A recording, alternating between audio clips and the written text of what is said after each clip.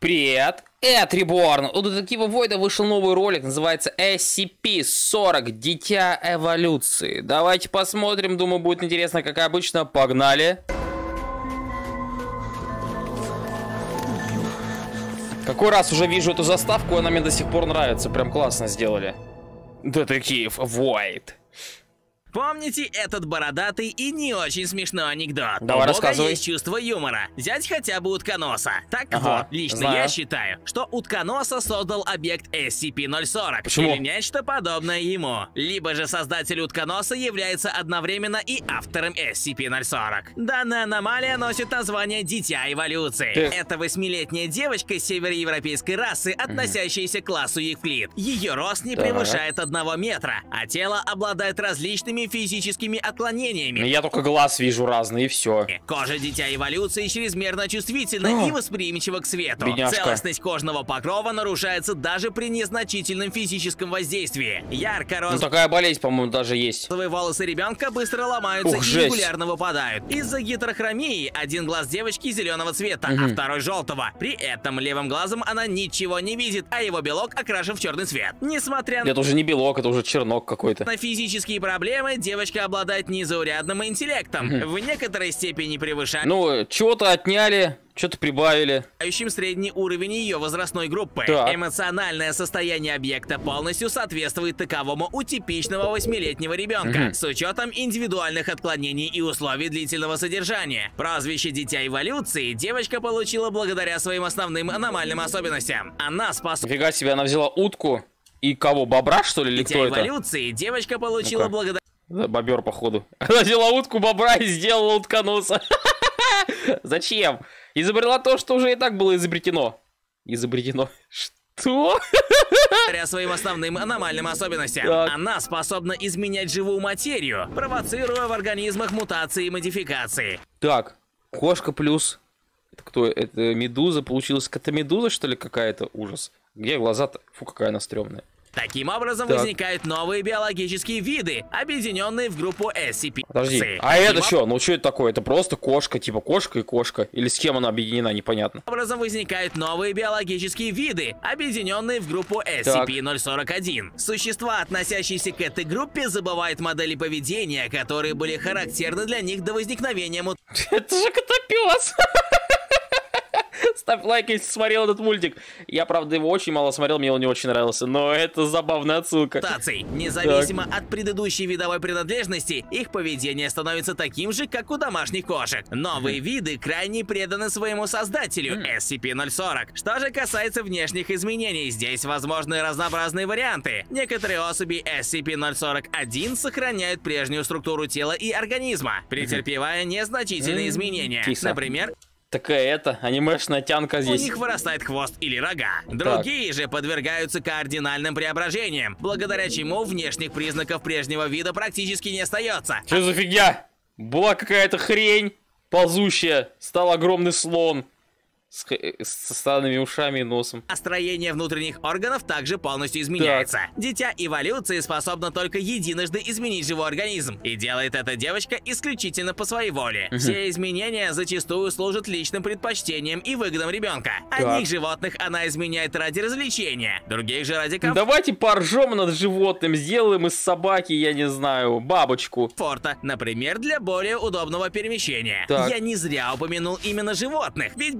большинстве случаев она способна изменять только эти живые организмы. Растения трансформируются с трудом, а микроскопические существа и вовсе не подвластны силам дитя эволюции. Поскольку человек также является представителем Но все-таки человек она тоже может. Окей, я задавался этим вопросом. животного мира, при контакте с ребенком он рискует навсегда О, господи, что это за странная куколка-переросток? потеряет свой привычный облик. Жесть. Чтобы обезопасить сотрудников, проводящих работы с субъектом, в камере содержания предусмотрена система распыления транквилизаторов. В случае, когда дитя эволюции демонстрирует непредвиденное поведение, специальный газ успокаивает ее и гасит нежелательные поведенческие реакции уже через 5 секунд после воздействия. Камера Так. содержания субъекта находится под строгим контролем двух руководящих сотрудников. Нахождение здесь любых организмов, не участвующих в экспериментах, запрещено. Исключение составляют три особи SCP-041. А, это те, которые нам показывали на бумаге. Руководство посчитало, что эти объекты не несут угрозы, Друзья ее, а типа? само дитя Дитя эволюции привязано к ним и нуждается в их компании. Объект Так, SCP-041 вот, наконец-то расскажешь нам, из чего они состоят.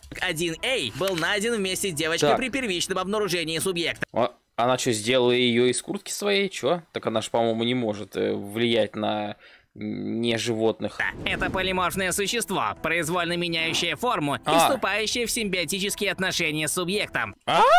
Чё? Она даже так может делать, нифига. Дитя эволюции использует его как свитер или верхнюю одежду. Фига себе. В обмен за обогрев субъекта Это, блин, прям веном какой-то почти. Существо получает минералы и витамины из организма ребенка. Скорее всего, в прошлом это существо было домашней кошкой, поскольку Так. генетический анализ выявил наличие генов этого животного. Кроме формы, оно способно менять также цвет и плотность. Подобные модификации являются реакциями на изменения Такое одела, одела кофту, такая, блин, как-то мне не нравится этот цвет, давай сделаем розовый.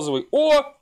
Другое дело, и деньги тратить не придется на новую кофточку. окружающей среды Удобно. или же зависит от настроения девочки. Мгм. Второе животное, SCP-041-C, вероятно, было создано для развлечений. Оно представляет из себя сферический организм, внутри которого находятся специальные пузыри, наполненные гелием. Благодаря этому газу существо способно И вот почему она постоянно улыбается. Эй, я под гелем. летать. Оно имеет 11 Так. конечностей с противопоставленными пальцами. Но самой главной особенностью этого существа является его дыхательная система. Ну-ка. Она устроена таким образом, что в процессе газообмена возникает мелодия. Набор музыкальных звуков очень широк, а композиционная Фига. структура мелодии достаточно сложна и не встречается ни у одного из классических или современных композиторов. Прикольно.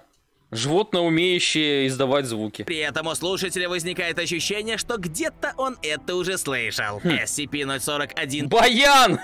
Чувак, ты играешь баян! Джей, дитя эволюции, используют для передвижения. Четвероногое существо лишено глаз, но зато имеет утолщенный мех голубого и розового окрасов. А, использует для передвижения существо, у которого нет глаз. Каким образом, интересно, оно передвигается? Немножечко непонятно. Широкий рот объекта наделен тупыми зубами. При желании существо может Офигеть. свободно карабкаться по потолкам и стенам. Ребенок играет со своими питомцами в перерывах между уроками, которые проводятся каждый день в соответствии со школьной программой. Примерно два раза в месяц девочка проходит психологическую экспертизу. По Так. ее результатам руководство решает, стоит ли предоставлять субъекту дополнительные игрушки и развлечения. Надо отметить, что впервые намек на существование этого объекта я встретил в одной провинциальной газете. Через три дня Так. после выхода номера в печать все экземпляры, которые удалось найти, были изъяты и сожжены. В интернет информация также не успела попасть. Но я смог раздобыть страницу газеты, где напечатана статья о воскресшем из мертвых человеке. Нифига, это как? говорилось, что скончавшийся от инсульта профессор биологии Эван Роуз спустя две недели после своей смерти был замечен на севере Пенсильвании. Но, несмотря Так. на то, что при жизни он являлся образованным и эрудированным человеком, его воскресшая копия обладала интеллектом младенца. Эти данные перекликаются Переродился, и мозг его тоже переродился, да? с экспериментом по оживлению мертвого человека в стенах фонда, Так. проведенным с SCP-040. Ребенок способен воскрешать мертвую материю, но только при условии соединения ее с живым материалом. В качестве живых организмов были использованы три серых крысы. Так. Соединив их с трупом человека, дитя эволюции вернуло жизнь обратно в бездыханное тело. Ну, наверное, у него стал интеллект э, этой мыши или как? Только человек ничего не помнил из своей предыдущей жизни, Хм. а его интеллект, как и в случае с профессором, ничем не отличался от умственных способностей младенца. Капец. Вряд ли профессор из статьи Интересно, он потом сможет э, развить свои способности или нет? и труп из эксперимента фонда являются одним и тем же человеком. Все особи SCP-041, созданные аномальным ребенком, утилизируются сразу же после экспериментов. Прикольно, да? Типа, оживили человека, и потом сразу его опять убили. Это, по-моему, слишком жестоко, мне кажется. Кроме того, в северной части Пенсильвании отсутствуют какие-либо из известных мне учреждений фонда. И что важно, труп профессора был замечен еще до того, как объект взяли на содержание. Я предполагаю, что именно в Пенсильвании находилась секретная лаборатория, в которой создали SCP-040. В документах фонда расположение лаборатории не раскрывается, Так. но в них указано, что помимо Дитя Эволюции было обнаружено еще 15 детей. Протоколы Интересно, что с ними сделали, с этими детьми-то? Их уничтожили, что ли? Бедняжки. что остальные дети не обладали никакими а, ой, аномальными хорошо. способностями. Поэтому их обработали амнезиаками и устроили в детские дома, поскольку Окей. настоящих родителей от... Ну хотя бы так, хотя бы так. Сказать не удалось. Я предполагаю, что эти дети просто не успели приобрести аномальные свойства. По словам... Может, не успели, а может, у них на генном уровне не получилось их прижить или еще как-нибудь. Почему сразу не успели? SCP-040 за ними присматривал некий мистер Грин, который убедил девочку, что у нее нет родителей и других родственников. Правда, большую часть времени о детях в это же отсылка на обещанный Неверленд. Ну, типа, там вот эта вот женщина, это их, типа, мама. Этого чувака я не помню, как зовут, но один из главных героев, короче. Рэй, что ли? Не, не, не помню, короче. Ну, это сто процентов отсылка на обещанный Неверленд. Лаборатории заботились Прикольно. нянечки. Они кормили детей и играли так. с ними. Если подопечные вели себя хорошо и включали фильм, в случае плохого поведения, детей закрывали в их комнатах. Так. Иногда нянечки надевали им на головы шлемы с датчиками, Нафига? в которых дети проводили достаточно много времени. Зачем? Судя по рассказам субъекта, у каждого ребенка был свой порядковый номер, mm -hmm. как в фонде. Когда я узнал о мистере Грине, первая мысль, пришедшая в голову, была о докторе Васе Голбруке gap. Похож на этого Эйнштейна. Ведь именно он проводил многочисленные эксперименты над детьми. Однако, немного поразмыслив, я отбросил эту идею. Дело в том, что психологические характеристики Голбруга и Грина не совпадают. Угу. SCP-040 описывает мистера Грина как очень хорошего человека. Он страдал заиканием и всегда доброжелательно относился к детям. В случае с Голбругом... Так, ну вот хотя бы так, хотя бы не в ее на них. Все было наоборот. Девочка-киборг или SCP-191 а, до сих пор боится провиниться из-за жестокого отношения отношение доктора. Козлин так что, скорее всего, существует Ой. еще один доктор, способный продуцировать аномалии. Чтобы узнать это наверняка, необходимо наведаться в северную часть Пенсильвании. Так. Но есть одна серьезная проблема. Какая? Протоколы фонда предписывают регулярное наблюдение за местом обнаружения SCP-040. Фонд опасается, что учреждение, в котором нашли субъект, может снова восстановиться в том же месте. Так что, если я попаду в поле зрения сотрудников, меня наверняка задержат. Но когда это меня пугали такие опасности? Хм, место пред... Бесстрашный, что ли, ты слишком? Зачем ты то постоянно переезжаешь?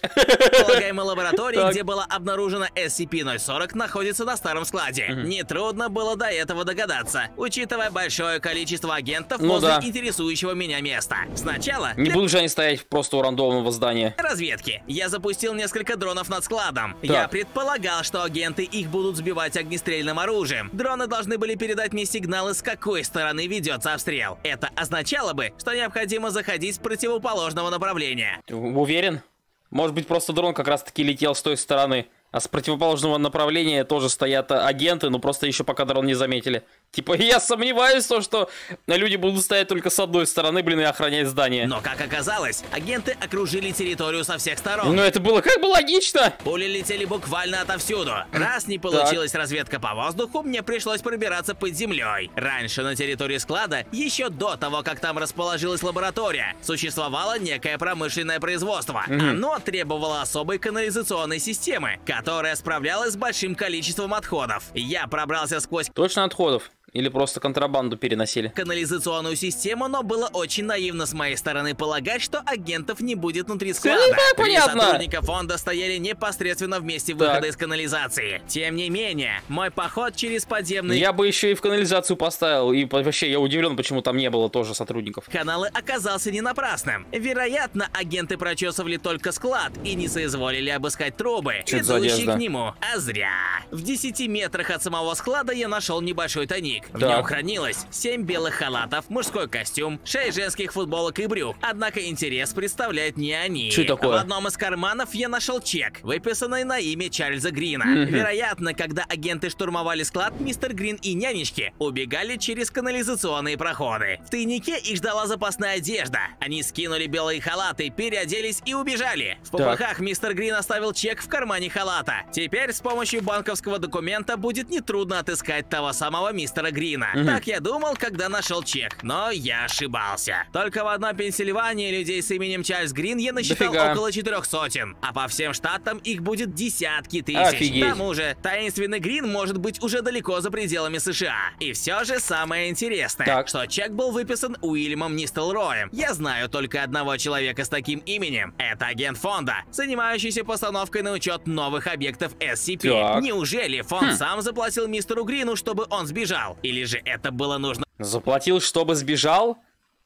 Нафига платить, чтобы кто-то сбежал? Немножко странно, ладно. Лично не Рою. Что вы думаете по этому поводу? Кто такой мистер Грин? Является ли SCP-040 его творением? Или возможно, же он просто возможно. содержал ее, как это делает фонд? Пишите ну, свои мысли в комментариях. Если там было много людей, то скорее... Ой, фу, детей, то скорее всего он из них а, пытался сделать SCP.